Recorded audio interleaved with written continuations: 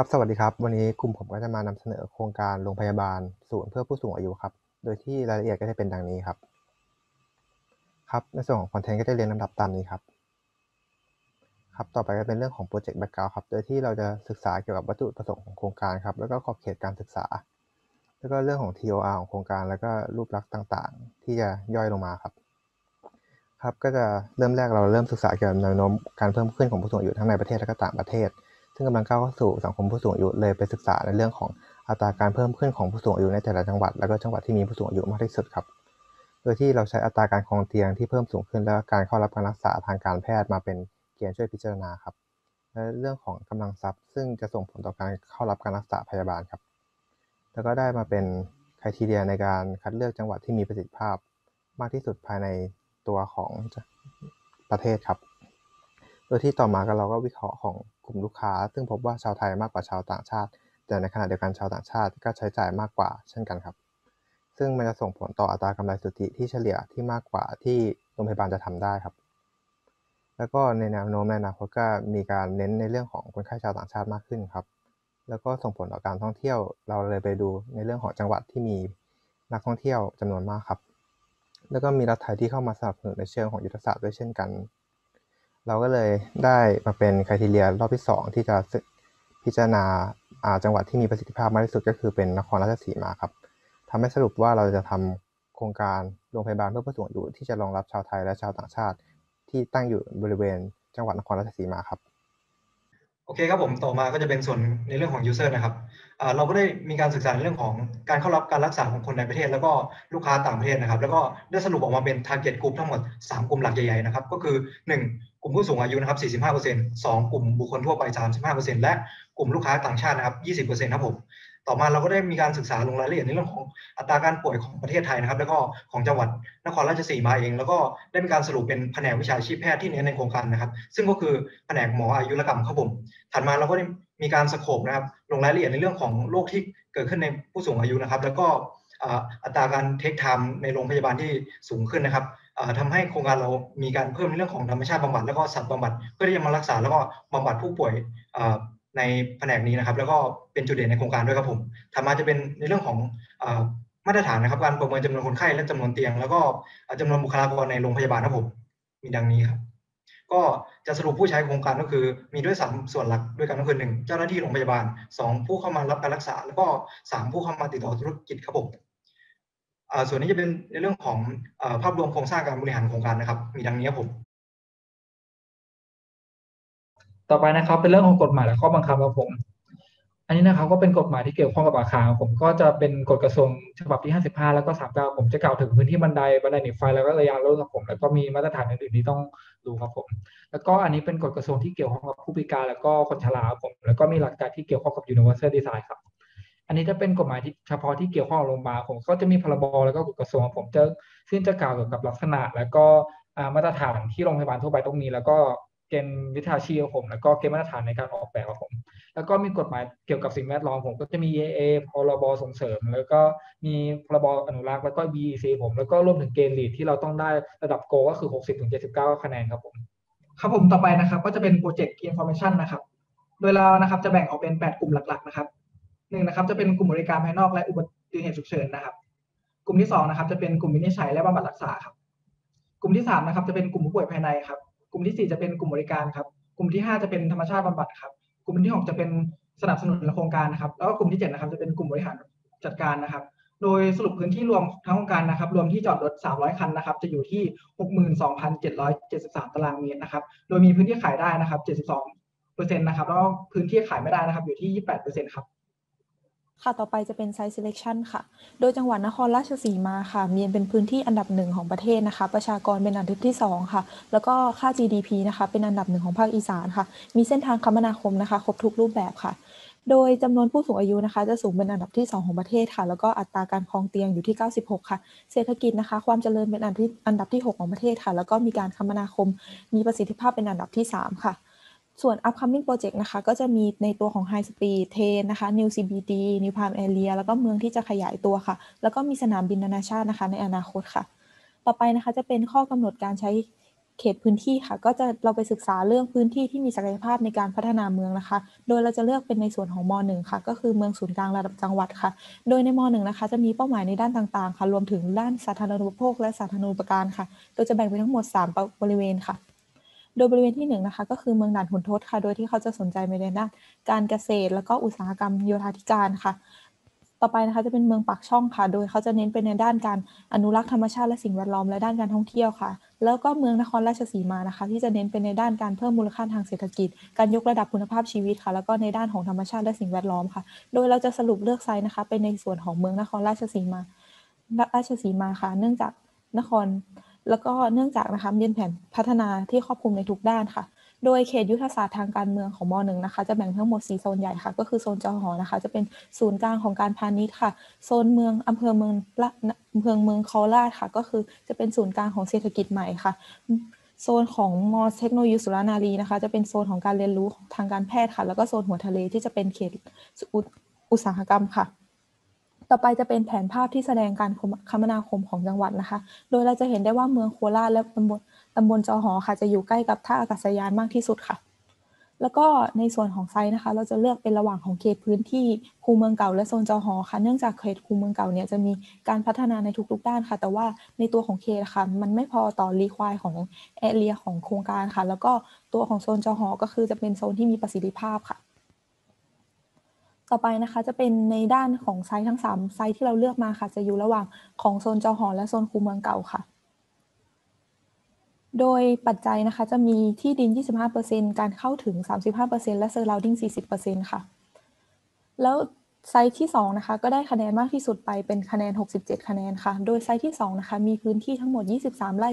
32.65 ตารางวาค่ะ อยู่บนผังสีสีชมพูนะคะ FAR 10 แล้วก็ OSR 30%ค่ะ โดย surrounding รอบข้างนะคะ จะเป็นหมู่บ้านข้างเคียง แล้วก็เศรษฐเขตเศรษฐกิจค่ะ โดยพื้นที่2นะคะ มีศักยภาพในการรองรับแผนพัฒนาทางการแพทย์ รองรับการขยายของตัวเมือง พื้นที่ไม่กระจุกตัวมากเกินไปค่ะ แล้วก็มีการคมนาคมที่สะดวกนะคะ เศรษฐกิจกำลังจะเดินเติบโตค่ะ ค่ะบทต่อไปค่ะ เป็นการทบทวนวรรณกรรมค่ะ โดยการทบทวนกรรมนะคะ แล้วก็ได้ศึกษาจากข้อมูลพื้นฐานของโรงพยาบาลและส่วนสนับสนุนในการออกแบบค่ะ ก็ได้ออกมาเป็นสี่หัวข้อหลักค่ะ คือ concept architecture system แล้วก็ฟังก์ชันค่ะ แล้วก็มีการศึกษาเกี่ยวกับไดอะแกรมโครงสร้างของฟังก์ชันค่ะ โดยเคสแรกค่ะ เราศึกษาเกี่ยวกับ concept ของโรงพยาบาลราชพฤกษ์ค่ะ เคสต่อไปค่ะ คือศึกษาเกี่ยวกับ architecture ของ Nanjing Drum Tower ค่ะ เคสต่อไปค่ะ เป็นการศึกษา System ของ British Columbia ค่ะ ในเรื่องของเกณฑ์มาตรฐาน LEED Gold ค่ะ เคสต่อไปค่ะศึกษาเกี่ยวกับฟังก์ชันของบำรุงราษฎร์ International ค่ะ เรื่องฟังก์ชันการรองรับชาวต่างชาติค่ะถัดมานะครับ จะเป็นการศึกษาเกี่ยวกับงานระบบของโรงพยาบาลประจำมหาวิทยาลัยรัฐครับ ถัดมานะครับ จะเป็นการศึกษาการวางผังแล้วก็การนำวัสดุจากท้องถิ่นมาใช้ของโรงพยาบาล of Niger ครับ ถัดมานะครับ จะเป็นการศึกษาการนำเอา concept ที่เกี่ยวข้องกับงานศิลปะเข้าผนวกกับตัวโรงพยาบาลนะครับ แล้วก็อันสุดท้ายนะครับ จะเป็นการศึกษาเกี่ยวกับการนำ pet partner เข้ามาใช้ในการเยียวยาผู้ป่วยครับแล้วเราก็จะสรุปได้จากเคสสตาดี้ทั้ง 8 อันนี้ครับเราโดยเราจะนำจุดเด่นของแต่ละอันมาปรับใช้กับโครงการของเราครับ จากการศึกษาโรงพยาบาลและเทรนที่เกิดขึ้นเราก็จะได้ Database ของการออกแบบโครงการเรื่องของ Sustainable Design สถาปัตยกรรมพื้นถิ่นและพื้นที่สีเขียวนะครับ และโดยตัวจังหวัดนครราชสีมาที่มีเอกลักษณ์ที่มีความชัดเจน เราจึงนำเรื่องนั้นมามาเป็น ส่วนประกอบในการออกแบบครับ และเรื่องของขั้นตอนในการรักษาที่ใช้ระยะเวลาที่ส่งผลต่อสภาพจิตใจ จึงนำเรื่องของธรรมชาติบำบัดมาใช้ในโครงการด้วยครับโดยตัวแบ็กกราวของนครราชสีมาอยู่กับเรื่องของบทศาสตร์ความเป็นมาด้านวัฒนธรรม และธรรมชาติที่มาอย่างยาวนาน โดยตัวไซต์จะอยู่ในตำแหน่งที่เส้นทางสัญจรไปมา ดังนั้น จึงเลือกที่จะแสดงออกถึงเอกลักษณ์ที่ชัดเจนและดึงดูด และสะท้อนถึงตัวตนที่กลมกลืนไปกับบริบททางวัฒนธรรมดั้งเดิมของภาคอีสานด้วยครับ โดยการหยิบจับมรดกและสถาปัตยกรรมในพื้นที่ที่เมืองนครราชสีมา และพฤติกรรมที่มีปฏิสัมพันธ์ของกันและกันของคนนครราชสีมา การใช้งานพื้นที่กิจกรรมแบบเรือนดั้งเดิมของคนในพื้นที่มาออกแบบในของโครงการครับ ต่อมาเป็นมูดบอร์ดเรื่องของเอกลักษณ์พื้นที่ของโครงการครับ เนื่องจากพื้นที่โดยรอบของโครงการขาดพื้นที่สีเขียวเราก็เลยเลือกที่จะเชื่อมโยงผู้ใช้งานพื้นที่ และผู้สูงอายุโดยการสร้างพื้นที่สีเขียวแห่งใหม่ให้เกิดขึ้นและตอบสนองต่อ ความเป็นอยู่ดั้งเดิมของคนในพื้นที่ครับ ซึ่งมันก็มีผลต่อการรักษาของผู้ป่วยที่นอนติดเตียงในเชิงจิตวิทยาด้วยครับ ต่อมาเป็น mood board ของพื้นที่สีเขียวโครงการครับ โดยตัว sell point ของโครงการเราก็คือการเป็นศูนย์กลางทางการแพทย์และเน้นเรื่องของการออกแบบ เชิงเอกลักษณ์ แล้วก็ธรรมชาติ และก็การรักษาที่ทันสมัยครับ ต่อมาเป็น project image โครงการครับ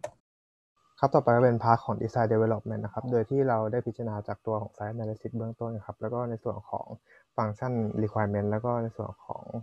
อไดอะแกรมที่เป็นตาม concept ครับ โดยที่เราแบ่งเป็น 3 หัวข้อหลักๆ ในการพิจารณาคือเป็น Zoning แล้วก็ Functional Design แล้วก็ในส่วนของ Design Development ครับ โดยที่เราสร้าง Alternative 8 Alternative เพื่อพิจารณาข้อดีข้อเสียครับที่จะนำมาเป็น 1 Alternative ที่ 1 หรือ Alternative ที่ 6 เพื่อจะพิจารณาเป็นบทสรุปในการสร้าง Zoning ครับ แล้วก็สร้างตัว mass ออกมาเป็นอีก 4 รูปแบบครับ แล้วก็พิจารณาข้อดีข้อเสีย แล้วก็ได้มาเป็นตัวแมสที่ 1 ครับ แล้วก็จะเป็นฟังก์ชันดังกล่าวครับ ครับ ต่อไปก็เป็นในส่วนของ structure design นะครับ ก็ส่วนของ structure ก็จะเป็นตามนี้ครับ ก็จะเป็นในส่วนของอ่าส่วนของที่เป็น underground ก็จะใช้เป็น mat foundation แล้วก็ wet wall pile ครับในส่วนของ convention hall ก็จะเป็น space touch แล้วก็ post tension floor ครับ ส่วนของ Tower ใช้เป็นโครงสร้างที่เป็น wall bearing post tension for concrete column ครับ และส่วนของ skywall ก็จะเป็น steel deck steel touch box แล้วก็ space touch ครับ ในส่วนของ car park ก็ใช้เป็น wall bearing แล้วก็ post tension แล้วก็ concrete column แล้วรวมกับ curve roof garden ด้านบนครับ ในส่วนของ Tower Residence อันนี้ก็จะเป็นในส่วนของฟาซาดที่ออกแบบมาเป็นไกด์ไลน์คร่าวๆครับ ต่อไปนะครับเป็นงานระบบประกอบอาคารครับผม ซึ่งงานระบบไฟฟ้าผมก็จะเป็นไปตามมาตรฐานของกระทรวงสาธารณสุขครับผม แล้วก็ตัวของไฟฟ้ากำลังแล้วก็ไฟฟ้าสำรองครับ เราใช้เป็นตัว UPS ครับผม เพราะว่ามันมีการป้องกันไฟฟ้าได้ทุกกรณีแล้วก็ไม่มีช่องว่างในการจ่ายไฟครับผม แล้วก็มีในเรื่องของระบบแจ้งเหตุเพลิงไหม้ครับผมเราใช้เป็นระบบ Address ครับผม เพราะว่าเราสามารถที่จะรู้ตำแหน่งของที่เกิดเหตุได้อย่างชัดเจนครับผม แล้วก็ระบบเรียกพยาบาลเราใช้เป็นอินเตอร์คอมครับผม เพราะว่ามีความทันสมัยแล้วก็สามารถติดต่อกับพยาบาลได้โดยตรงครับผม แล้วก็ระบบโทรศัพท์เราใช้เป็น IP PBX system ครับผมเพราะว่าระบบนี้มีความเสถียรแล้วก็มีความทันสมัยครับผม ระบบเครือข่ายไร้สายแล้วเราใช้เป็นแลนเพราะว่ามีการกระจายได้ไกลแล้วก็เสถียรครับผม ระบบเสาอากาศโทรทัศน์รวมเราใช้เป็นระบบนี้ ดิจิตอลเพราะว่ามีความเสถียรแล้วก็มีมีการประหยัดค่าไฟแล้วก็ฟังก์ชันเสริมอีกมากมายครับผมระบบเสียงประกาศนะครับ เราใช้เป็นระบบ IP ครับผมเพราะว่ามีการเลือกส่วนประกาศได้ แล้วก็มีความเสถียรครับผม ระบบทีวีจอ จอวงจรปิดครับผมเราใช้เป็นระบบ IP เพราะว่ามันสามารถถ่ายได้ทั้งกลางวันกลางคืน แล้วก็สามารถเชื่อมกับอินเทอร์เน็ตได้ครับผมระบบควบคุมทางเข้าเราใช้เป็น Access Control ครับ ระบบป้องกันฟ้าผ่าเราใช้เป็น Faraday Faraday ครับผมเพราะว่ามีการป้องกันที่มากกว่ารูปแบบอื่น แล้วก็มีค่าใช้จ่ายที่น้อยกว่าครับผมแล้วก็มีการเชื่อมต่อลงดินที่เราใช้เป็นระบบ TNS ระบบ TT แล้วก็ระบบ IT ครับผม ต่อไปค่ะครับสำหรับระบบทำความเย็นนะคะ ก็ทั่วไปเนี่ยจะใช้ water cool chiller แล้วก็สำหรับห้องที่ต้องการควบคุมความสะอาดนะคะ ก็จะใช้ ASU อย่างเช่น ห้องผ่าตัดแล้วก็ห้อง ICU นะคะ แล้วก็มีระบบ split type สำหรับห้องที่การต้องการควบคุมอุณหภูมิพิเศษนะคะ ต่อไปค่ะสำหรับระบบความดันอากาศนะคะ ก็จะใช้ negative negative pressure นะคะ กับห้องแยกโรคติดต่อทางเชื้ออะติดต่อเชื้อทางอากาศค่ะ แล้วก็ positive pressure นะคะ จากพวกห้องผ่าตัดแล้วก็ห้อง ICU ค่ะ แล้วก็การระบายอากาศเนี่ยก็ต้องกรองอากาศเป็นไปตามมาตรฐานนะคะ ส่วนระบบระบบดับเพลิงเนี่ยก็คือจะใช้สปริงเกิลค่ะ แล้วก็สำหรับห้องไหนที่ใช้น้ำไม่ได้เนี่ยก็จะใช้เป็นสารสะอาดพิเศษแทนค่ะ ต่อไปค่ะสำหรับระบบสุขาพิบาลนะคะ ก็จะใช้ระบบดาวฟีดนะคะ เพราะว่าเป็นอาคารสูงเป็นส่วนใหญ่ค่ะ ต่อไปเลยค่ะ ถัดมานะครับจะเป็นระบบบำบัดน้ำเสียภายในโครงการ เราเลือกที่จะใช้เป็นระบบน้ำบำบัดน้ำเสียแบบ activated สลัดโดยที่เราเจาะจงมาที่ระบบแบบคลองวนเวียนครับถัดมานะครับ จะเป็นระบบจัดการขยะภายในโครงการนะครับ โดยในโรงพยาบาลนี้จะมีขยะทั้งหมด 5 ประเภท โดยที่เราจะกำหนดห้องพักขยะไว้ในทุกๆชั้น แล้วก็นำออกจากโครงการครับ ถัดมานะครับ จะเป็นระบบลิฟต์ภายในโครงการครับ โดยเราเลือกใช้ลิฟต์แบบ electromechanical tie section die ครับ โดยที่เราจะแบ่งเป็นลิฟต์ทั้งหมด4ประเภทครับ ถัดมานะครับ จะเป็นระบบบันไดเลื่อนภายในโครงการ โดยเราจะกำหนดบันไดเลื่อนไว้ที่บริเวณโพเดียมของโครงการครับ ถัดไปครับ ครับว่าในส่วนของการประเมินต้นทุนโครงการนะครับ ก็จะอยู่ที่ 2,490 ล้านนะครับ ซึ่งอยู่ในงบที่ตั้งไว้นะครับ ดูรายละเอียดได้ตามตารางเลยครับ พอจบการเสนอเพียงเท่านี้ครับ ขอบคุณครับ